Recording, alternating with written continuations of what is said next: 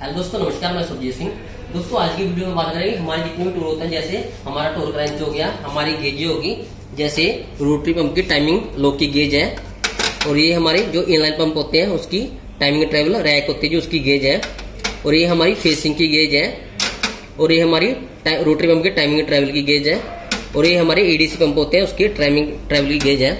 हमारे पास जितनी भी गेज होती है, हम रखते हैं उसको, या कभी हमने इसको कैलिब्रेशन नहीं करवाया तो उसको कैलिब्रेशन कराना ज़रूरी है ताकि जो इसके अंदर जो वेरिएशन आ जाए, उसको पता लग सके कि हमारी गेज ओके है कि नहीं। और हमारा जो टोर क्रैंच होता है, उसको भी चेक कराना ज़रूरी है कि हमारा जो टोर क्रैंच है, वो प्रॉपर काम कर रहा है कि नहीं।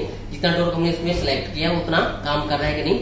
तो इसके लिए हर छह महीने के बाद, जो किसी का छह महीने जिसका साल के बाद जो गेजे हैं, एक कैलिब्रेशन होने जाती है। देखिए, आप यहाँ पे देख सकते हैं, जितनी भी हमारी गेजे हैं, सबके ऊपर जो है टेस्टिंग की मार्क लगे हुए हैं। देखिए, ये हमारी जो गेजें हैं, सारी टेस्ट होके आई हैं कि इसके अंदर जो वेरिएशन था, वो उसको दूर कर देगा। आप देख सकते हो, चौदह छह दो हज़ार तेईस को हमने कैलिब्रेट कराई थी और वैलिड है जो चौदह छह दो हज़ार चौबीस तक वैलिड है। तो इसको कैलिब्रेट कराना बहुत ज़रूरी है, ताकि हमें पता लगता है जो हमारा टूल है, वो प्रॉपर काम कर रहा है। ऐसे टोल क्रैंच गया हर चीज़, इसको तो गेजें जो है कैलिब्रेट करने के बाद ऐसा सर्टिफिकेट मिलता है, जिसमें उसकी कंडीशन बताई जाती है, क्या कंडीशन है गुड कंडीशन है। और इसमें कितना एरर आ रहा था, कितना उन्होंने सिलेक्ट किया, इसका जो एरर आना चाहिए ज़ीरो पॉइंट वन आना चाहिए तो इसका जो आ रहा था ज़ीरो पॉइंट टेन आ रहा था तो उन्होंने इसको सेट करके दिया, जो उसकी वैल्यू को सेट करके दिया तो हर जो आपका टोर क्रैंच है, चाहे कोई भी डायल गेज है, उसका आपको सर्टिफिकेट मिलता है इस तरीके से। आपके जो आपकी वर्कशॉप होगी उसके नाम से आपको सर्टिफिकेट दिया जाता है। तो जितनी भी आपकी कैलिब्रेशन गेजी हैं, उसको साल में एक बार तो ज़रूर कैलिब्रेशन कराना चाहिए। उससे क्या होगा, जो हम काम करेंगे उसमें एक्यूरेसी आएगी और जितनी हमारी मास्टर इंजेक्टर होते हैं, उसको भी हम हर महीने जो है कैलिब्रेट करते हैं।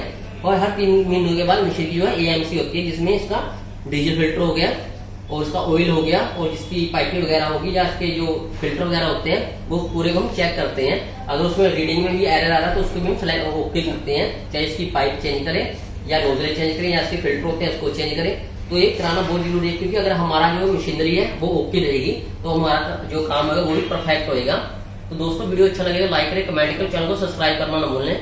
और आपको कुछ भी पूछना हो या कुछ भी बताना हो, आप हमें कमेंट करके या मैसेज करके बता सकते हैं, या आप हमें फेसबुक इंस्टाग्राम पे भी कॉन्टेक्ट कर सकते हो। लिंक वीडियो के डिस्क्रिप्शन में है।